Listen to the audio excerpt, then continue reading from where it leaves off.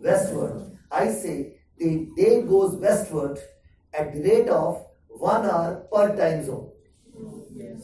We have done the time zone scheme also now. Now, if this is understood, let us have one more addition to the same idea. Now see, what is the date today? 19th of August. And at what time today 20th will start? At 12 midnight. So everyone knows that at any given place, a new day starts at 12 midnight. Is it okay for everyone? I repeat my point that at any place on the earth, a new day begins at 12 midnight. For example, 20th August will start today at 12 midnight. Now, if this is understood, now please answer this simple question. You know a new day begins at any place at 12 midnight. But tell me, which is that location of the world where a new day begins the earliest on the earth?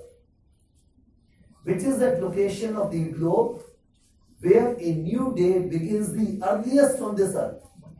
180 degrees. It has to be the easternmost place. Yes. Remember, the earliest beginning of the day would be at the easternmost location of the globe. And in the way we have divided the whole world, what is the easternmost location? It is 180 degrees, yes or no? So it means the IDL has another significance for us in life. International date line, which is 180 degrees line, it is also the line where a new day begins the earliest on the earth, yes or no? Because it is the easternmost location of my planet. Understood or not? Now, if you have understood all this, first I'll revise this point and then I'll ask you one very simple question. But anyone who understands this simple, uh, the basic points will be able to answer it immediately. First, you have understood Earth goes eastward, day goes Westward. this day goes westward at the rate of one hour per zone. A new day begins at any given place at 12 midnight. And the fourth point you have learned is a new day begins on the earth the earliest at 180 degrees location. Is okay? Now, if this is fine, please answer this question, which is very simple now.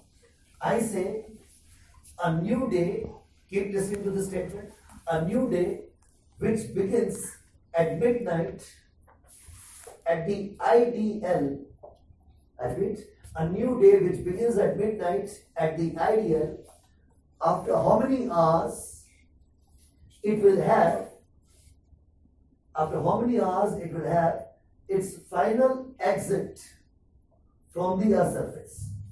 You know, a, co- a day comes and it goes, right? We get a new day after that. So my question is, a new day which begins at midnight at the IDL, after how many hours it will have its final exit from this earth? Very good. You are saying 24 hours. Don't you think if that was the answer, I would not have taken so much of pain? I'm repeating the statement. See, you always get a wrong answer when you are in a haste to answer, yes or no? So what is the learning for preliminary? Remember, prelims is the difficult stage of this examination. Even some good students fail sometimes. Those students who are very good for mains and interview, they fail in the prelims itself only for the reason they make one or two errors and they go below the cutoff. And errors are because of silly mistakes. So minimize the errors on that day. And for that, one rule is never ever give any answer in haste. In haste, when you make commitment to someone, know, there are problems. Commitment to an option, I'm saying. or you understand the idea, even there, there it. So see, I always say there are four options. Never ever make any commitment to any option in haste. Because what happens? You say C is the answer, B is should go. Then your mind says no, B also will be the answer. No? Then your mind keeps struggling because you have said you have given commitment to C also. Moment back. So don't make commitment because you are before you are hundred percent. See, everything must be related to life. then only you have learning the subject as well as life better. Okay. So one rule for preliminary examination, I will always act rational. There, I take time to analyze a given situation. So anyone who did that, answer was? Answer to this question is what? Don't analyze so much that you do PhD. You said zero hour. How can a day be over without any time? Huh?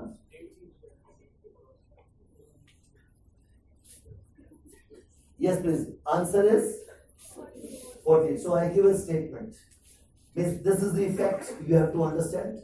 A new day which begins at midnight at the IDL.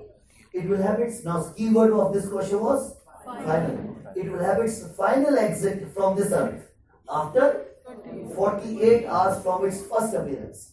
Means from the moment it appeared, after 48 hours, it will have its final exit. Now, how many of you understand this? Only a few. Now, those who don't understand, no problems. I'll make it very easily understood by, by taking crude illustration. So, we'll, go, uh, we'll just focus on what I say. Take my hand to be a globe and consider each finger to be a time zone of 15 degrees.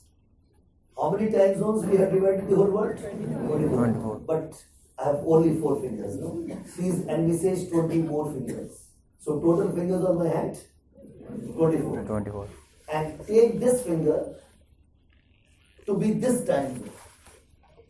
Where 180 degrees is at the center. So I repeat, each finger of my hand is a time zone of 50 degrees and the finger, this finger shows the time zone where at the center you have international date line. And this finger represents the next time zone on the west of it. This shows one more time zone on the further west. This shows one more time zone on the further west and 20 more such fingers, right? Now, let's do this and uh, journey and you'll get the answer of 48 hours. Now, you already know when earth will turn eastward, they will go westward at the rate of one hour per per zone. zone. So let's apply all what we have learned. A day which begins at midnight at the IDL. I repeat, a day which begins at midnight at the IDL, with the planet turning eastward, they will start moving westward. Westward. Can I say the day which begins at midnight at the IDL, after one hour, will reach the next time zone? Yes. Because it's traveling at what rate? At the rate of one hour. So it travels to the west in the next time zone at the rate of one hour. So it in the next one hour it will reach here. After one more hour it will reach next time zone. And as the earth is going further east, the, the same day will come in the next uh, time zone after one hour. So can I say, as earth travels eastward, the day which began at midnight at the IDL, in the next 24 hours, it will cover the whole earth? Yes. Yes, please. Traveling at what rate?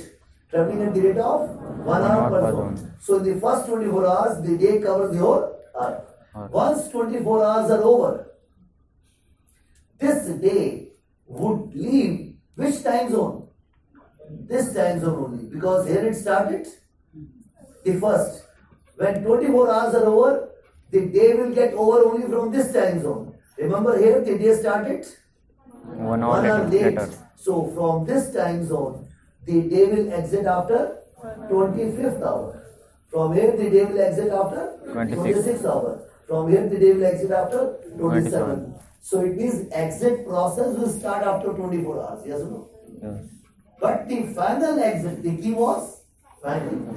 The final exit of the day would be after 48 hours. It means in general one can understand that at any given time in general, there is a day which is covering the earth and there is a day which is leaving the earth. Yes or no? Because in first 24 hours a new day covers the earth and the next 24 hours it leaves the earth at the rate of one hour. Is that fine? So we have learned, uh, we have understood this rule now. Now let's have one or two more points. Today you learned west to east I cross, I gain a day, east to west I'll lose a day. Now there may be some student who may come to trouble me after the class and may ask me that sir I understood your rule very well, but you didn't tell me that what will be my fate if I stand on the line itself. There are some, there, there are some students who are to trouble the teacher always. So he, he or she may come and may say, Sir, what if I stand on the line itself? Now, to such a student, my first counter question would be, what is the business in life you have to stand on the line? Now, there may be a rigid student who may say, sir, you forget about my business, attend, attend to your business of satisfying the students in terms of the queries they have. So if a student comes with this question, that what is my fate if I stand on the line, then answer is that theoretically, mind you theoretically, you will enjoy two days in life. As per my question, you will enjoy 6 a.m. 25th December as well as 6 a.m. 26th December. But remember, why do I use the prefix theoretically? Because you know, in reality, when you enjoy, when you wish to enjoy, you need to be a part of a society, yes or no? Either on this side or the other side. At 180 degrees, you might say that I have two days of the year with me, but in practice, it is nothing. But if the question is asked in UPSC, so your answer would be, that you have two days. But it's more of a theoretical enjoyment, not the real one as such. Okay? So on but on the line, international date line, we have two days theoretically speaking as such. Now one more point, and the last point which I give before you write the notes is given in every book, and it is important for later our map references and details. Now be on the board for the last point. See here, just recall my previous lectures discussion where I explained that Greenwich meridian was chosen as our zero degree meridian. One, because of the dominance of the English Empire. Second, Royal Observatory at Greenwich was already in use as a reference by the sailors world. But more importantly, the reason which really turned the tables in favor of this particular place was that opposite arc of zero degree becomes international date line. And common sense required that this line, ideally speaking, should not be passing through populated areas of the world. Because if such a line across which there is a change of a day on the calendar, if it is passing through populated areas, it will become a nuisance for life. People will come, keep jumping the line, line throughout the day to change their commitments. So it was desired that we should have IDL in a way which is not disturbing humanity in a big way. So scholars found when you take Greenwich meridian as zero degree meridian, opposite arc which was to become 180 degrees was a very convenient line because it was formed to be passing through the mid of the Pacific Ocean. So the line Greenwich meridian was chosen as zero degree because it gave us a very good choice for international date line also. Though it was very good choice of international date line, but it did create some problem. And because of those problems, the international date line has been given two major deviations. It means theoretically the line called international date line has to pass through 180 degrees value only. But at two places, there has been some small deviation from 180 degrees value. Which are those two major deviations? The two major deviations would be something like what I say now. Now you all know there's a place called Alaska. Yes. Alaska in North America was earlier a part of Russia. Russians happened to sell it to Americans. So today Alaska is a part of US.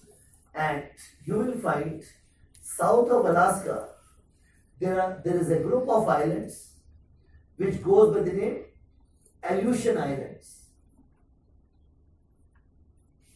And Aleutian Islands are a chain of islands like something like this. Means there's a curved chain of islands.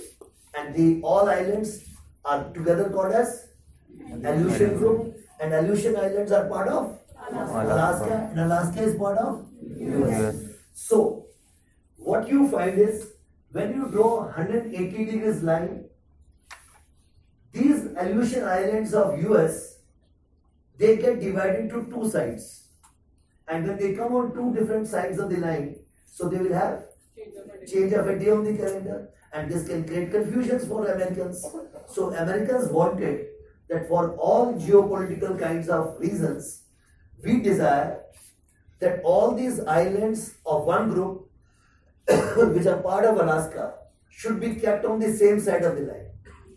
So my notes, like any other book, will give you that one major deviation of international date line is in the Bering Sea, and this deviation is with the purpose of keeping all Aleutian Islands of Alaska on one side of the line means to give them the same day.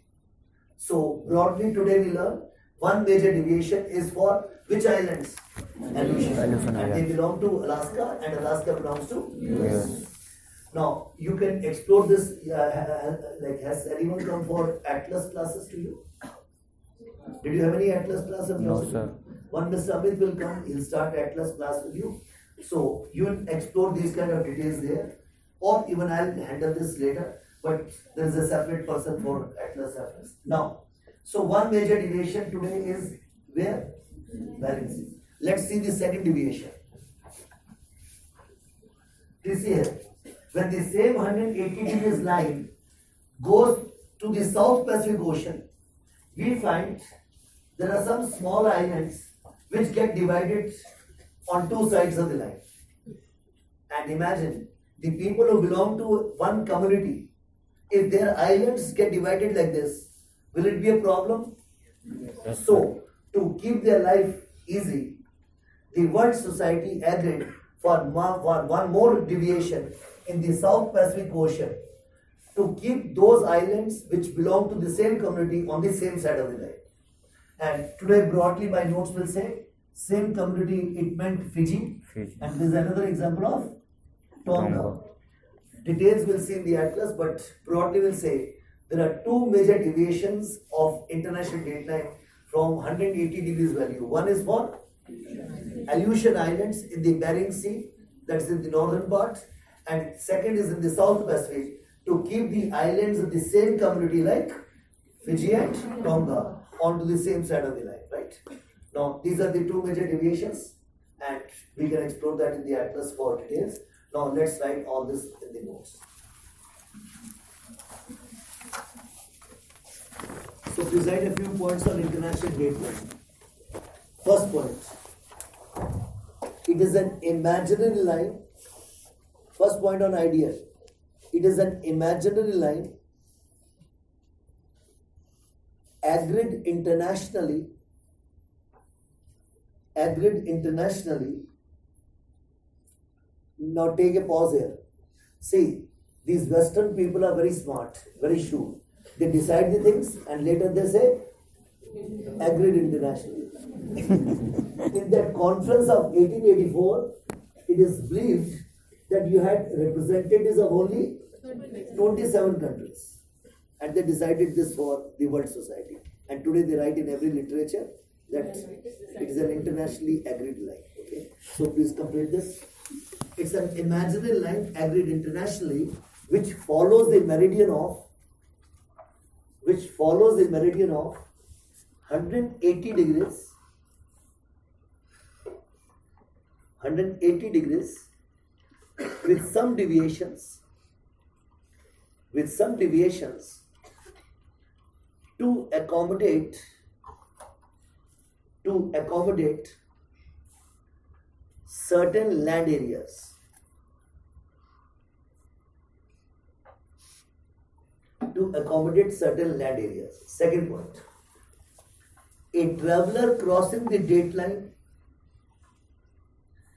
a traveler crossing the date line from west to east from west to east put a comma gains a day gains a day and while crossing from east to west and while crossing from east to west loses a day. Loses a day. Next point. One advantage of establishing next point please. One advantage of establishing the greenwich meridian as the prime meridian as the prime meridian is that is that its opposite arc is that its opposite arc is in the Pacific Ocean. Is that its opposite arc is in the Pacific Ocean. Full stop. Further right, in the same point, the 180 degrees meridian. Next sentence. The 180 degrees meridian. Transiting, transiting. The sparsely populated means less populated. The 180 degrees meridian. Transiting. The sparsely populated. Mid Pacific, mid Pacific was chosen as the meridian.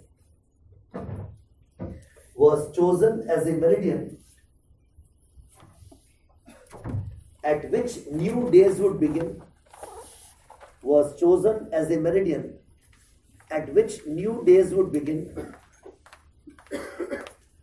And the old days and the old days would exit and the old days would exit from the surface of the earth and the old days would exit from this surface of the earth. Next point. The IDL, next one is the IDL deviates from 180 degrees meridian, deviates from 180 degrees meridian in the Bering Sea in the Bering Sea to include all the Aleutian Islands, to include all the Aleutian Islands of Alaska, to include all the Aleutian Islands of Alaska within the same day. To include all the Aleutian Islands of Alaska within the same day. And it deviates again in the South Pacific and it deviates again in the South Pacific to keep islands of the same group to keep islands of the same group to keep islands of the same group when you write same group within bracket Fiji comma Tonga close the bracket to keep islands of the same group within the same day. To keep islands of the same group within the same day.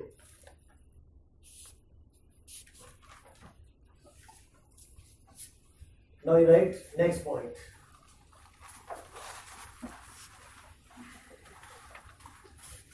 Result as Earth rotates eastward, as Earth rotates eastward, the day goes westward. When you write day, you can write oblique time also. As Earth spins eastward, the day or time goes westward. Next point. The new day first appears on Earth. The new day first appears on Earth at midnight at the IDL the new day first appears on earth at midnight at the IDL. Full stop. For right? For the next 24 hours, in the same point, for the next 24 hours,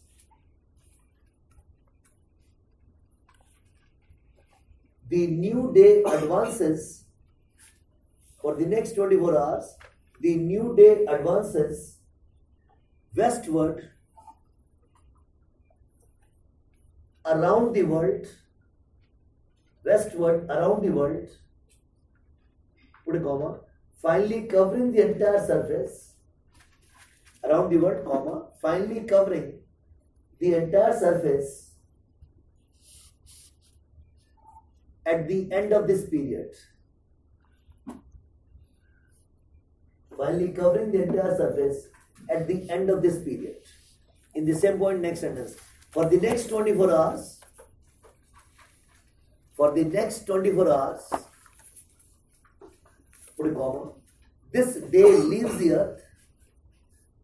For the next 24 hours, comma, this day leaves the earth. Again put a comma. One hour at a time, this day leaves the earth, comma, one hour at a time. Again put a comma. Making its final exit, making its final exit 48 hours after making its final exit 48 hours after its first appearance. Its first appearance. Next point since the IDL next one please since the IDL is in the middle of a time zone since the IDL is in the middle of a time zone,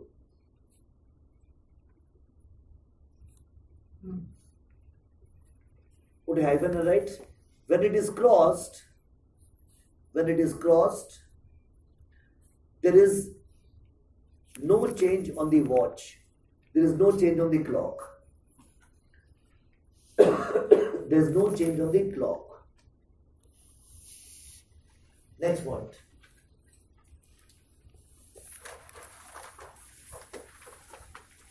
theoretically, next one is theoretically, along meridian 180 degrees, along meridian 180 degrees, put a comma, it is both. Now just take a pause. I am taking my example. It is both 6 a.m. Monday and 6 a.m. Tuesday. Means there are two days. So right, it is both 6 a.m. Monday and 6 a.m. Tuesday. That's all. So this completes international dateline concept.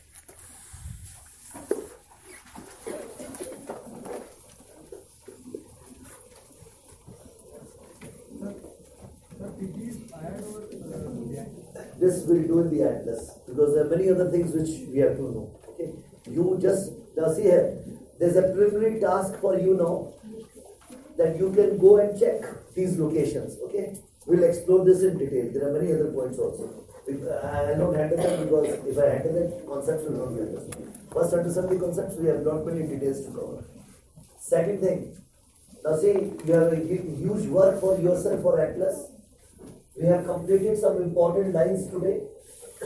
We have completed equator of the Tropic of Cancer, Tropic of Capricorn, Arctic Circle, Antarctic Circle, Greenwich Meridian, and we have done the international dateline today.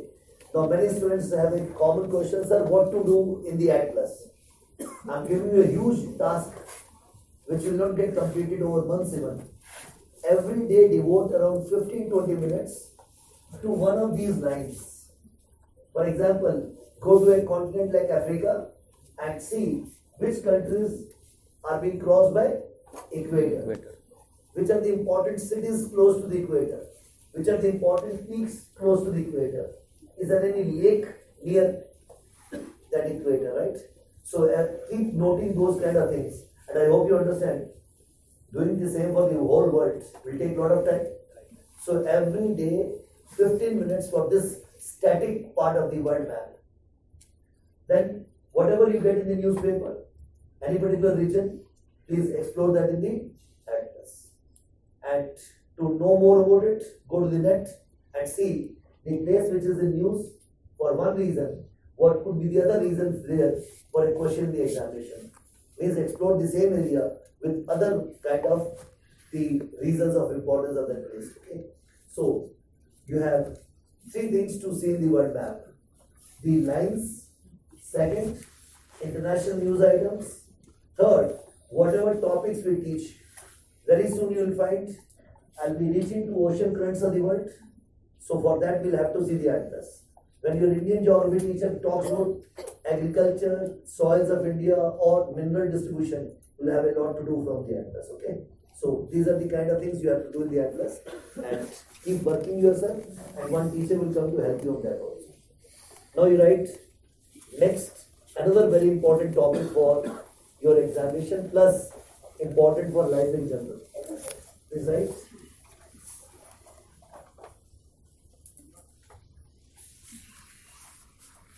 Daylight saving time. In short, world calls it as DST. Is that the title? Daylight saving time or in short DST.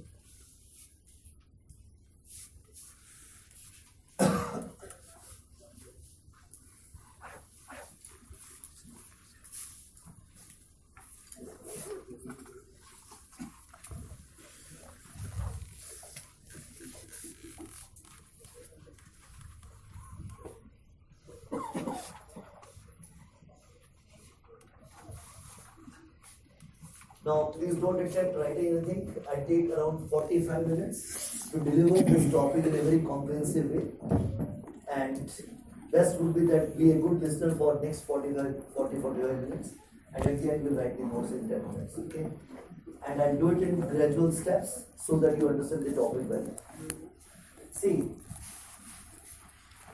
daylight saving time is a practice in many countries of the world and under this practice, the country uses two different times in two different seasons.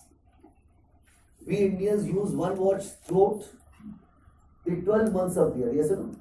Or do we change our time? We use the same watch, right? But there are countries in the world which go for using a different time in their watch in summer season. And this practice is what we call as DST. Let's understand what exactly is the logic, what exactly is the benefit, and what are the other details of this practice of using two different timings in two different seasons of the year, right? At this moment, you just know that there are countries in the world which have a different time in their watch than the real time in summer season. Let's understand what is the logic behind this and what is the, uh, the benefit the countries have and the other details. Now see, this practice of DST is related to the chapter of seasonality. And as I've already mentioned in my previous lectures, that I'll teach seasonality after a few lectures. I, I would have told you that I'll be discussing five reasons for seasons of the earth, right? But I have already mentioned a few points on seasonality. Sorry, well, I give you something earlier in the brief basic concepts of the year, and something is understood by your own experience. So what I do is, though I'm not covering seasonality at present, but I take up one or two points which are very very simple points and you'll understand by your own experience and school days knowledge and on the basis of those simple points I'm going to establish the practice called DST. Now let us see what are those basic points about seasonality and then I'll make a connection as I go further. See here, everyone in the class agrees with the understanding that seasonality is about changing length of the day. Yes. Summer is the time when the days are longer, winter is the time when the days become shorter. So when you will see that darkness has started prevailing earlier in the evening, it's a signal for us that we are approaching winter. So, change in the length of the day is what is a very good manifestation of seasonality for us. Is that okay? Now, second, I told you a few, uh, like in, in the like, third lecture or second lecture, third lecture, I believe, that there is a concept of circle of illumination. Did I teach this? Yes. I said sun's light will always divide the earth into two halves. One the light half, the other the dark half. And the edge of the light half, which I also call as sunlit hemisphere, will be a great circle. And that great circle is called circle of illumination. So everyone knows in the class, circle of illumination, which is the edge of the sunlit hemisphere, is a great circle. Okay? Now, you also understand by your common experience that a knife can cut an apple. Now, when I say apple in my class, always take it as a sphere, right? Though it's not, but we are using it as a sphere for our classes.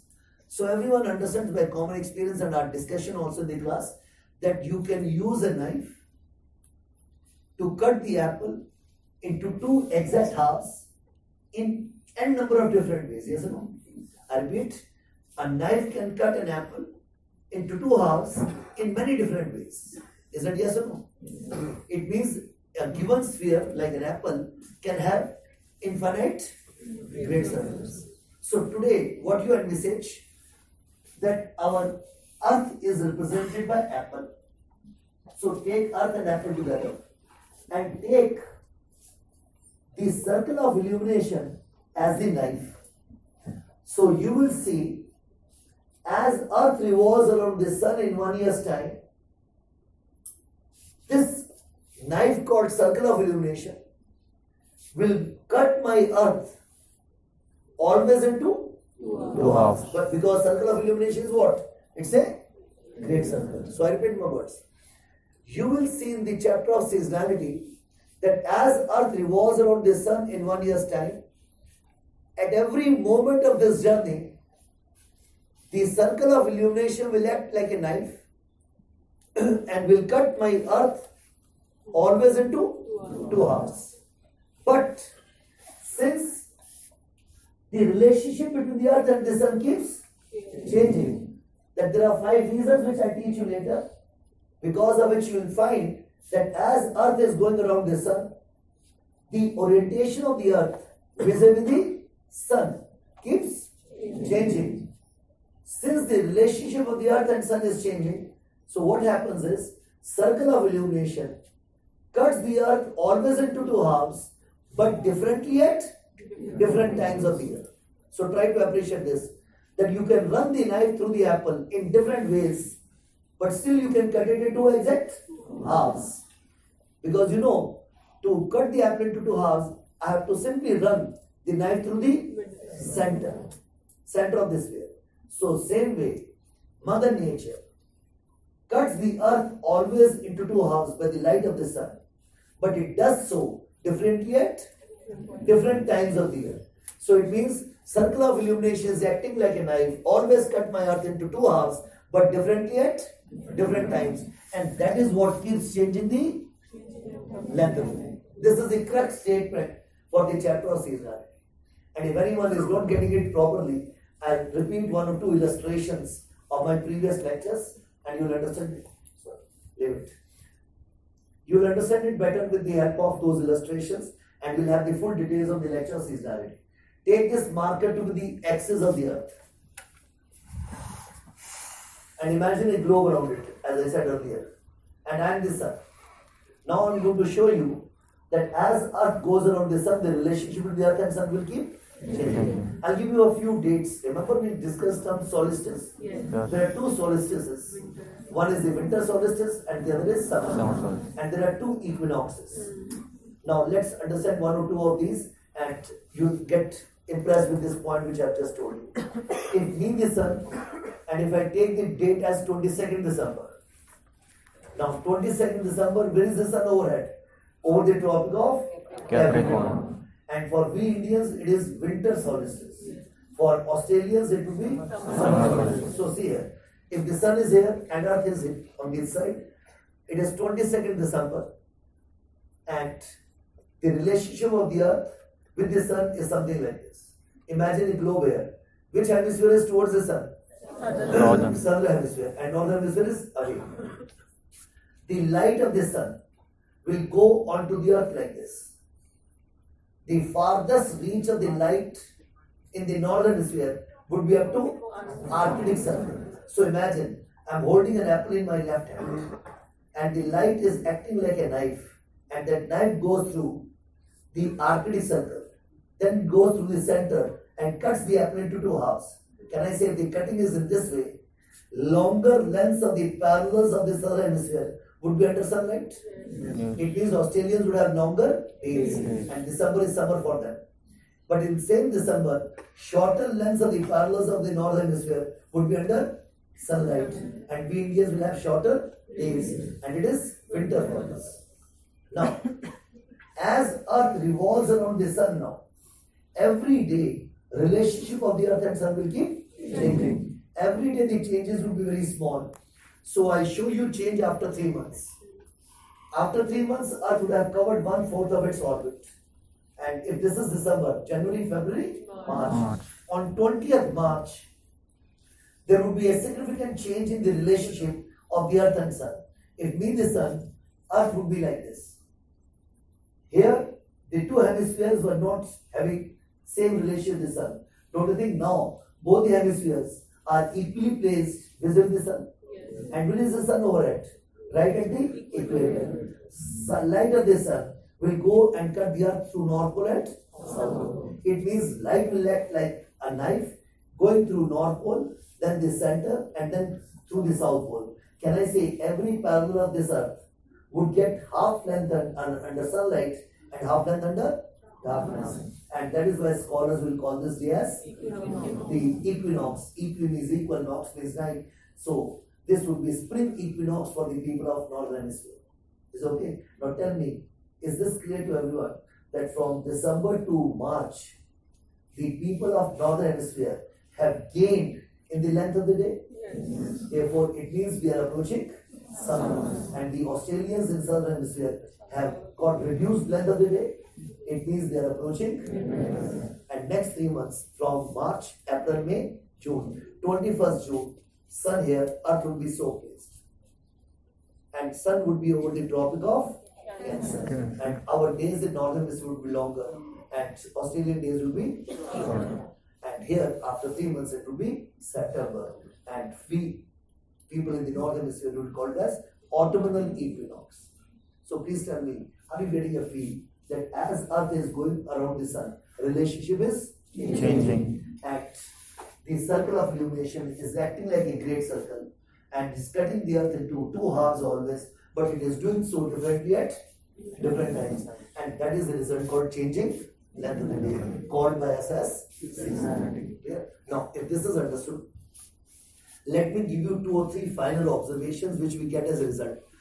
so, I repeat, if you have understood this point that great circle, that circle of illumination is acting like a knife and cuts my earth into two halves but differently at different times. If this is clear, let's see some final results of this scheme. Now you know, for cutting the apple into two halves, the knife has to always pass through the center of the apple. So can I say, equator is the only parallel of my earth which will always get bisected with the light? Yes, miss? So if the equator is being cut always evenly, then can I say the length of the day at the equator will never change? It means equator throughout the year would have 12 hours of day and 12 hours of night. Is that okay for everyone? Second observation. Can I say all other parallels of the earth other than the equator? Can I say all other parallels of the earth would have even cutting only on two occasions? Yes. One, the March equinox, and the other September. equinox. I repeat, the all parallels of the earth, other than the equator, will get evenly divided only on two. That is two equinoxes. One in March, the other in September. Can I say one more point, and that is the basis for DST now. Can I say all other parallels of the equator, uh, all other parallels of the earth other than the equator, will always get cut unevenly throughout the year, except two days of the year? Yes. So I repeat now this point because this is what will give me a connection with DST. So everyone now should focus on this point that all parallels of my earth, other than the equator, will always get cut unevenly for the entire year except for two days, that is equinoxes. So if the parallels are being cut unevenly, the result would be that your summer day is longer than winter day. Is okay? So, summer day, every one of us know by our practical experience is longer than the winter day. But the interesting result is, mind this now, the interesting result is that in the lower latitudes of the northern southern hemisphere, the variation between the length of the day in summer and winter is very less. But as I go towards the higher latitudes in both the hemispheres, the summer day keeps becoming more and more in terms of its length as compared to the winter day. It means those who are not getting my point, there is no variation of a day at the equator. But when I am in the lower latitudes of both the hemispheres, the summer length of the day is more than winter length of the day. But in lower latitudes, in a country like India, Pakistan, etc., the variation is not much. But when I go to the higher latitudes, middle and higher latitude, the higher I go into these latitude, the summer day becomes much longer. It means in general, if I was to say, the result is that in the middle and higher latitudes of the world, summer length of the day is much, much more than the winter length of the day. It means higher I'm in the latitudes of the northern southern hemisphere, the longer is the summer. Yes, please. Summer day. Is that understood? Now, if you understand this point, that in both the hemispheres, in the middle and higher latitudes of both the hemispheres, this area and this area, if the summer day is very long, don't think a common sense will prevail in the minds of these people that if sun is available to us for more number of hours during summer, then why are we letting this energy go waste? What does long summer day means? Long summer day means that these people in the middle and higher latitude in their summer season have a very early sunrise. Anyone of you who has been to some in summer vacations to some country in Europe would know the sunrise happens very So you have in this remember, I'm talking about summer season, and you know if there is a summer in northern hemisphere, it will be winter here. So I'm talking about respective summer. So whenever these middle and higher latitudes are their summer, there is a early sunrise and there is a very late sunset. Anyone who has been a city like Paris, etc., would know that watch may be showing 9:30 p.m., but the light is so much which might remind you of Delhi's light at 3:30 p.m. And anyone who has gone there for first time and if is not looking at the watch but goes by the light of the day to have dinner, perhaps would miss the dinner. because we Indians would feel that let the darkness prevail, then I'll go for dinner. But by the time the darkness prevails, restaurants would be closed. So, light, there is too much of light in those countries, even till late in the evening, because sun is going to set very late. So, a common sense prevailed in these countries' people's mind that if sun is available from very early in the morning till very late in the evening, then we should not let this energy go waste. We should organize our day in summer season in such a way that most of our economic, social, and other activities of the nation should be accomplished, should be completed by using more of sun's light itself. Sunlight. I repeat the point because this is the basis of DST. Since these countries have longer summer day, so common sense prevailed in the minds of the people here that we should not let this energy go waste. We should organize our day in summer different from what we do in winter. And we should organize our day in summer in such a way that most of our nation's activities, whether they are economic or social activities, they should get completed, most of them, in the broad daylight itself, and we don't have to use other source of energy. So it means the practice which I am trying to make you understand today, DST, is basically with the objective of energy conservation. Right? So that they use for most of their daily activities of the nation the sunlight and rather than the conventional source of energy. Now, certainly the next question in your mind would be how exactly this practice leads to energy conservation. Let's understand what is DST further. Now see, if you have understood this point, that they have more number of hours of sunlight, and now they want to use it so that they don't have to use the other source of energy. And for that, for this, They have to reorganize their day.